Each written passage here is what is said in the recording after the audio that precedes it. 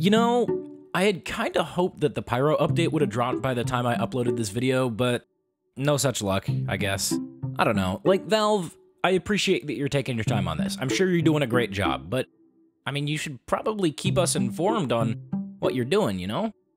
I don't know. I, I, guess we'll just work with what we've got for now. Uh, there are many different types of pyros, and hopefully I'll be able to cover all of them in this video. With that said, please remember that a stereotype does not necessarily mean everyone, but there's also a reason for it existing in the first place. Does that, does that make sense? Okay. Everybody good? We ready? Okay, let's get started.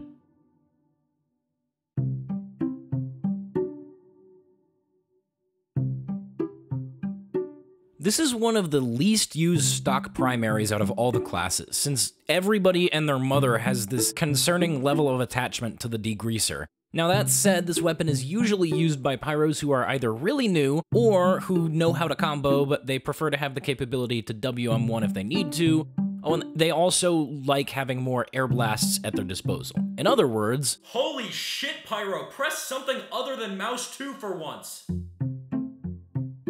Since this is a reskin of stock, the stereotypes for that apply to this as well, but without the whole new player stigma that most default weapons will come with. Now, it's also worth noting that the view model for this is pretty minimal compared to other flamethrowers, so people who use this also have an appreciation for a cleaner screen. Well, this weapon does all crits from behind, so you'd think that backburner pyros would play a flank-heavy playstyle that allows them to maximize damage output and ambush enemies, right? well... No.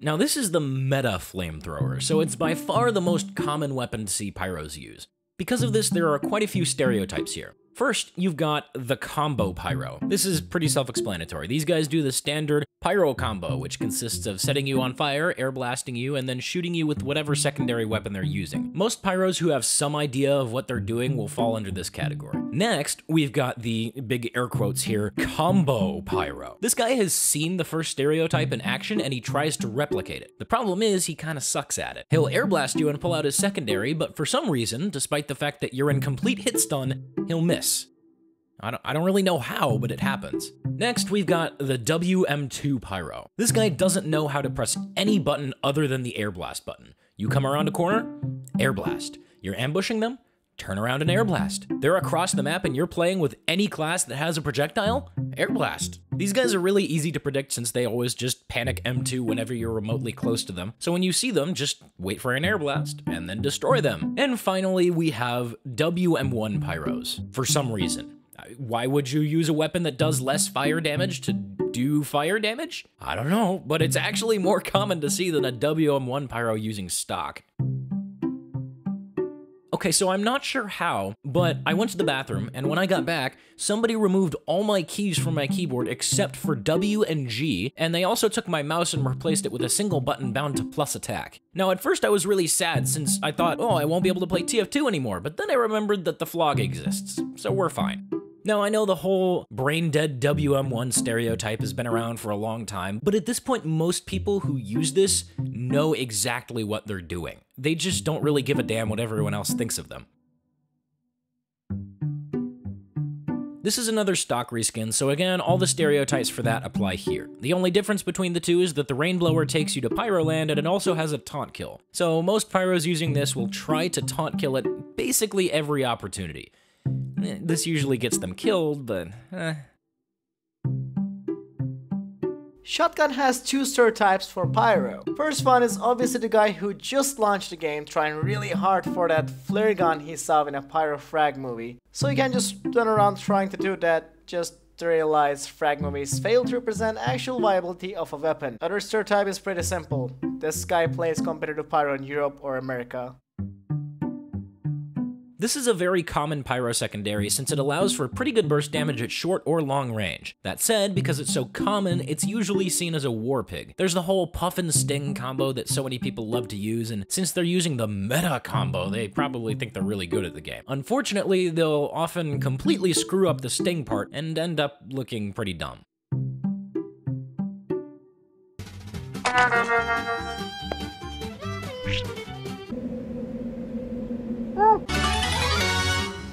The reserve shooter is one of those weapons that most players use where someone, somewhere is gonna get mad and yell at you for using it, even if it's your dad walking in like, Hey there son I see you're playing as the Pyro class in that Team Defense 4-2 video game. Yeah, Dad, I love this character and he's fun to play. You're dead to me. When someone spots another player using the reserve shooter, they begin to sweat uncontrollably, and they immediately switch to a mindset that encompasses the following. Calling the other player, smelly, puppy kicker, a racial slur, something about being a weeaboo, and or gay, before proceeding to leave the server. Did I say only most players use this weapon? I meant every single player.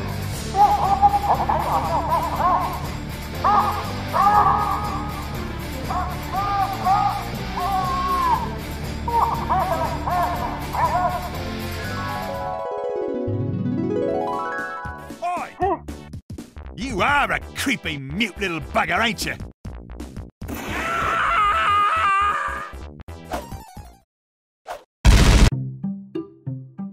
This guy loves to flank and jump and do all the really crazy shit that we saw Sketchek do with it back in the day.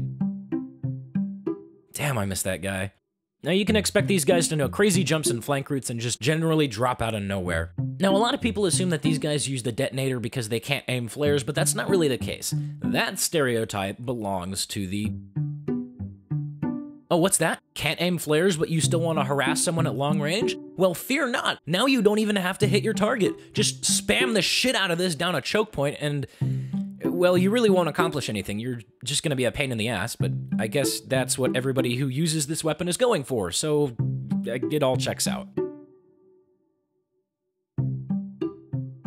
Players using the Man Melter really only ever use it with the Phlog so that they can still extinguish teammates. Otherwise, it's just kind of bad. Like, no, really, it's so freaking bad. Look, more bad weapons that basically nobody uses. This is one of those stock weapons that never really gets used because Pyro has so many better options at his disposal. Basically, if you see a Pyro with the Fire Axe, you can assume that they're either really new or Valve screwed up the item servers again. Back in the day, this weapon was the best pyro melee in the game. Nowadays though, it's just for hipster like me who are too cool for mainstream Powerjack users. Well, please buff the Axtinguisher, I beg you. I, I, wrote a blog post a while ago about why I hate video games because this is what it does. It appeals to like the male fantasy.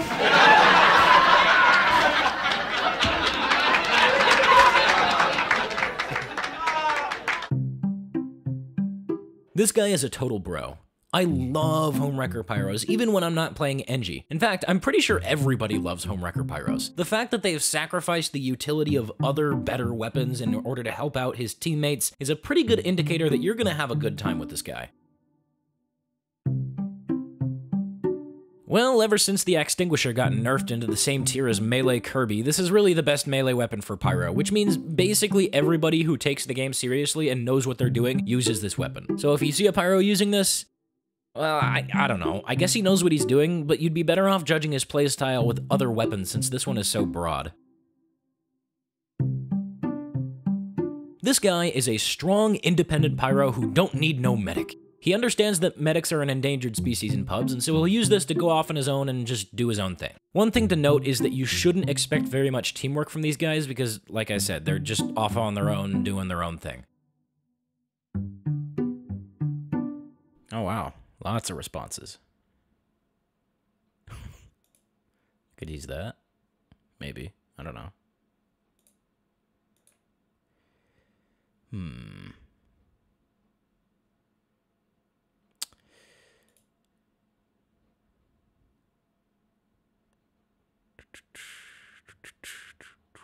Um, hold on. I don't care. Just don't meme the volcano fragment. I use it as an action.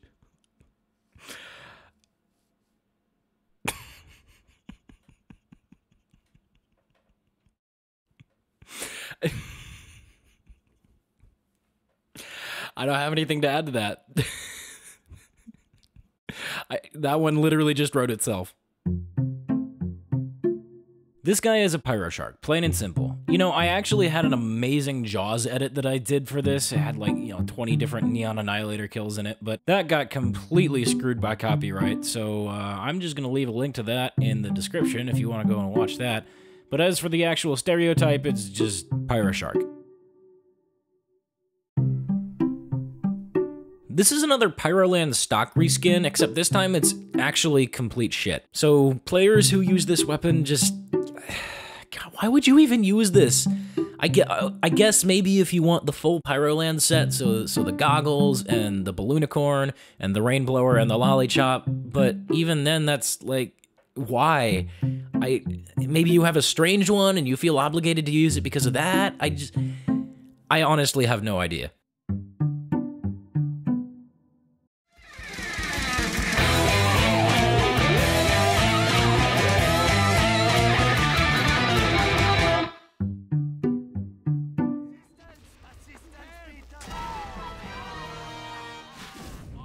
I hate this game.